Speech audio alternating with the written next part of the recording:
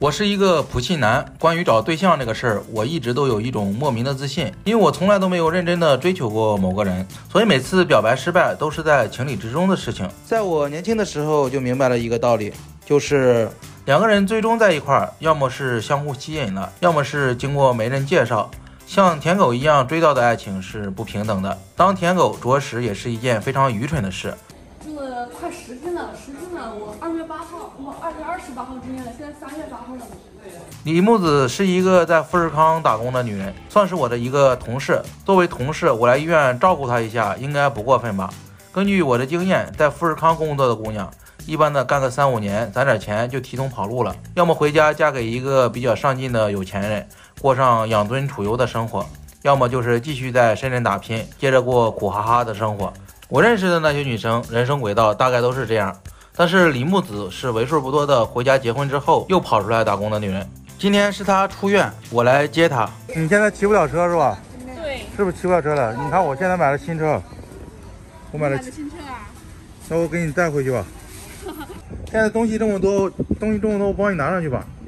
不用我自个拿，你帮我放在在路边就可以了。我等会儿再。哎呀哎呀，我给你拿了去，没事没事的，没事的。我又来到了林木子住的地方，他的房间依然是两年前的那个房间，阳台依然是两年前的那个阳台。好像这两年大家除了年纪大了一些之外，其他的什么都没有改变。呃，也有一些改变，就是我比之前更落魄了。我给你送回来，你怎么报答我呢？请你吃个饭吧，等会儿，好吧？可以啊，那也没问题。好。哎，你这边有腊肉跟腊肠啊？你这边腊肉能不能给给点给吃点？可以，你你切一半走吧。毕竟我也从老家就只带了这么一点。我这么说，是不想别人觉得欠我人情，我也不想欠别人的人情，所以每次我帮了别人的忙之后，就会马上要回报。对我来说，互不相欠总比纠缠不清要好一些。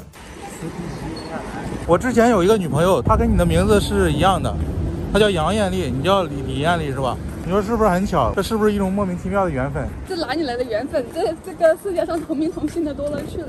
李木子原名叫李艳丽，我之前有一个前女友叫杨艳丽，当时杨艳丽也不叫杨艳丽，她叫杨雪溪。现在的李艳丽也不叫李艳丽，叫李木子。这个世界上叫艳丽的人可真多，呃，我就遇到了两个。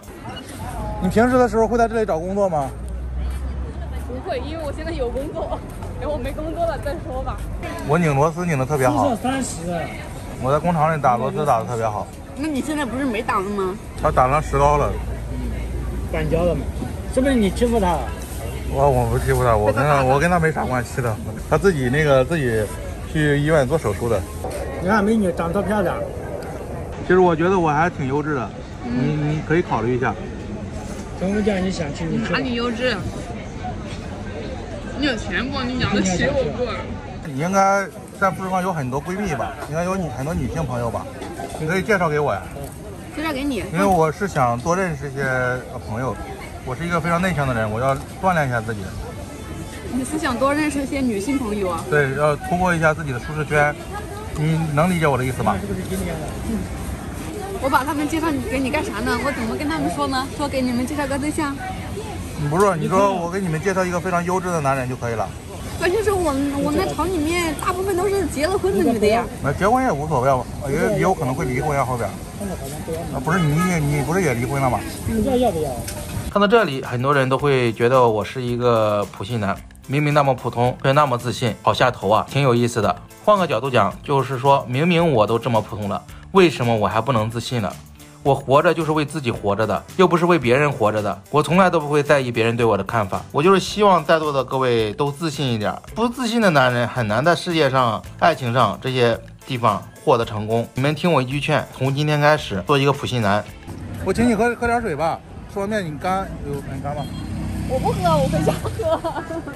我回家喝。我我请你喝一个柠檬茶吧，就前面那里有一个。有一个非常好喝的柠檬茶，请你喝一个吧。不用了，大家都是穷逼，别破费了，别花这个钱了，省点吧。我不，我有的是钱。我要开个婚姻介绍所，你要不要投我一点？我刚不说了，不投，没钱，只能把我自己投进去当你的客户。你给我介绍个对象。以后你有什么需要我帮忙的，你还可以找我啊。好。没事，你不要太客气了。好。行吧，那你回去吧，我也回去了。那走了。哦，以后真的有事一定要找找我帮忙啊！好，拜拜。